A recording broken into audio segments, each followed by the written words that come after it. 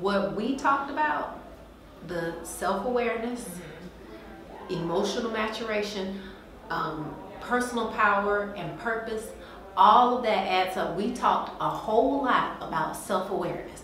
The first thing I had you do, the first thing that I had you do was take inventory of yourself. First of all, we got to back up, okay?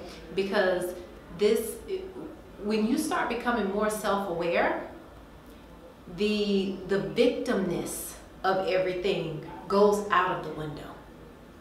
When you become more self-aware, you start to identify the source of things. When you start to identify the source of things, you don't take things personally. I'll give you an example, talking about your mom and, and that dynamic and that energy. Same thing with me, I can relate to it. What I had to understand, what helped me is understanding the source of the behavior of why my mom is the way she is, why she treats me the way she does, why we have that kind of dynamic. Once you understand the source, you understand that what she went through, that, that was some bull crap.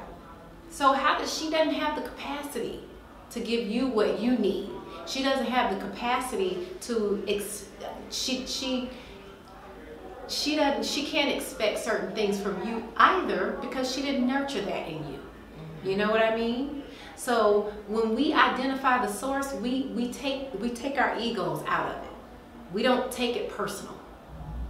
And this and, and the only way to do that is to become self-aware of what is going on inside of you. Okay, what is happening here? Otherwise, you just suppress it, suppress it, go drinking, go shopping, doing whatever it is you want to do not to feel shit. That's what happens. But when we start becoming self, when we, when we are responsible enough to go within, beautiful things, magic happens. Magic. And, and when we start to go in, when we become self-aware, guess what? We stop taking things personally. And you know what happens when you stop taking things personally? you become emotionally mature. And all of this, the, the self-awareness, the emotional maturation, that comes from meditation and mindfulness. That's why we talked a lot about, that's why I really, really, really encouraged you to meditate.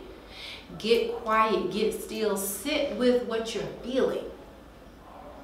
Because what you realize is, number one, you're not gonna die you're not gonna die if you sit and feel, sit with the shit you feeling. Feel it, let it get through your body. Because the only way you're gonna get past it, get over it, is to let it, allow it to go through you. Go through you and out you. That is emotional maturation. That is what meditation trains your mind to do, trains your body to do. I'll give you an example. When you're sitting and you're meditating and you feel an itch, over time, you'll ignore that itch. It'll come, but it'll pass. You'll feel it and it's like, you, but it will eventually pass. Same thing that translate, that carries over into your everyday life. Except it's not, it's except it's not a little a itch on your face. It's a, it's a crisis. It's, you know, oh, I can't, I, I can't pay my rent. You'll feel that, you'll feel what it feels like in your body, but you'll sit through it. You'll know that, okay, this is happening, this is how it's making me feel, I can't pay my damn rent, fuck, okay, damn. But then you're gonna, but then you, you're not reactive. You have a certain, a sense of stillness and peace so you can figure out what your next move needs to be. And typically, that next move is going to come to you. It's going to show up in front of you. You don't even have to go looking for it. You're just going to tell the universe, you know what? God, universe, this rent got to be paid. Now, I don't, you know, what, what you need me to do. What's my next step? You'll be out talking to people, you know my rent, whatever, however it happens. Somebody, somebody might write, offer to write you a check. I've seen stuff like that happen. You just never know what the universe will bring you, but one thing is for certain the universe will always have your back. We are not here to be abandoned. The, the universe, God, does not abandon us, period. It hasn't for billions and billions of years. People who are abandoned are that's their choice. I mean that that let me make sure I'm I'm I'm saying this with with compassion and empathy. I honestly feel like when people get to the point where they you know are in situations where they actually feel abandoned i feel like that is a result of a series of choices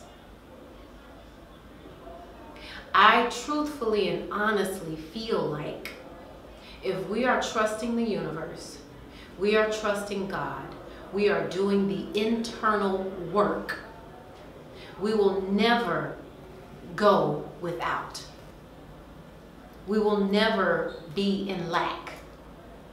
The universe will always provide. Now, are all of us here to be rich and have millions of dollars? No. No. But we will be taken care of. Our needs will be met if we are trusting the universe and if we are doing the internal work.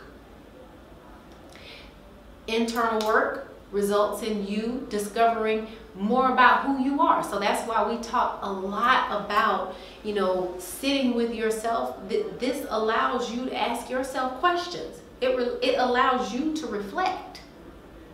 For you to say, okay, let me see, how am I feeling? Hmm, all right, how is this making me feel? How is this food, what I ate earlier, making me feel? How is this relationship that I'm in making me feel? How is living with this person making me feel?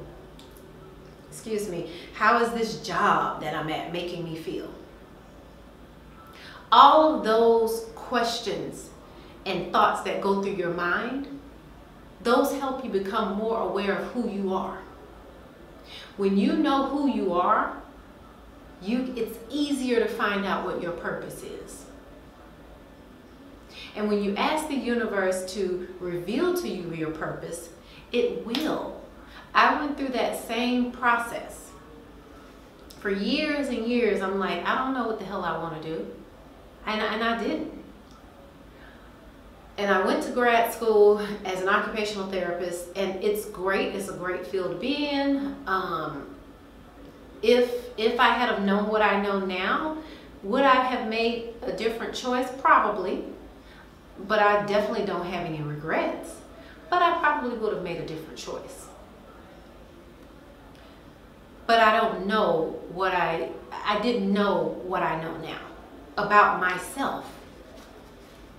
But when I did go on this journey of self-discovery and trying to figure out who I am, and I, I specifically asked the universe, what am I here for? What, the, what is my purpose? Why am I here? It revealed it to me time and time and time again. It's just a matter of paying attention. And again, going back to the meditation and the mindfulness, why it's so important and it's not just um no. There's a thousand ways to meditate. Just training your mind to sit still and not think about anything is meditation. Because in those little windows you get information. There are downloads happening from the universe. You're getting messages. You're getting answers so when you train your brain, when you train your mind to just be still in chaotic situations, because life is chaotic. Life can be chaotic, life can be very stressful. When you train your mind not to be not to be chaotic, also go along with that chaotic mess. When you train your mind to be grounded, okay, I see what's happening around me. It's almost like you you're able to take yourself out of the movie and you see yourself, you see the movie playing in front of you. You're able to step back and see things for what they are, and you're able to think clearly. You have moments of clarity. But if you don't train your mind to do that, you're constantly like a little tumbleweed just blowing in the wind all the time along with the chaos. You just riding the wave, riding the wave of the chaos. So that is why meditation and mindfulness is so important. It's, it's bigger than just, you know, just sitting every day. It, it, it, it, if you do it consistently and you make it a part of your practice, your everyday, you will see the effects translate into your life. And and my, my other thing, personal power. You know, I used to tell you, you are so powerful all the time. You are powerful, you are powerful, you are powerful.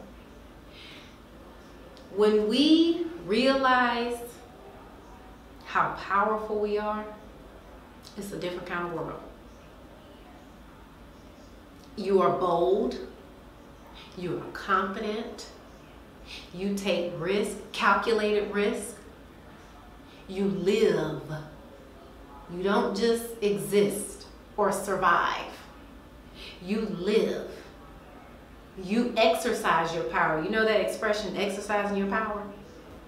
You actually, and when you know that you are powerful, you exercise, you begin to exercise your power.